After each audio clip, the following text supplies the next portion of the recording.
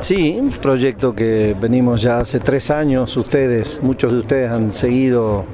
todo el proceso, cómo ha evolucionado, cómo hemos creado la empresa, cómo aprobamos una ley que, que define un marco, cómo hemos trabajado con el Consejo, hemos creado el Consejo con participación de todos los municipios, cómo hemos puesto en marcha un plan que es integral, que, los intendentes tienen su responsabilidad solo en la jurisdicción y hay territorio interjurisdiccional que no era atendido y municipios que no tienen capacidad tampoco operativa por, por sus presupuestos, así que la provincia tenía que meterse de lleno. Eh, formamos parte todos de la empresa Girsu Sociedad del Estado, que es una empresa que integramos la provincia, los municipios, y bueno, estamos dando el primer paso, esta es la primera licitación que ya se hizo en diciembre,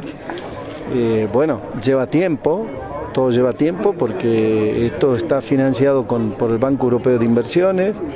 este, y estamos siguiendo los protocolos de licitación del, mismo banco, así que ha habido total transparencia en todo lo que,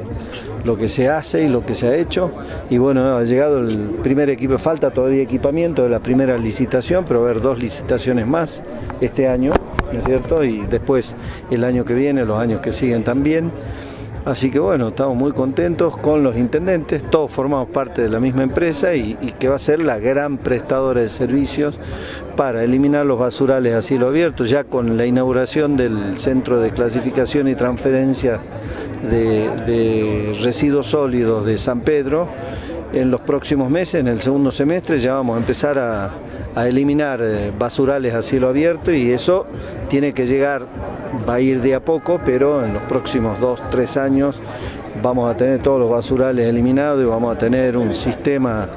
de, gestión integral que yo creo que va a ser ejemplar en el país.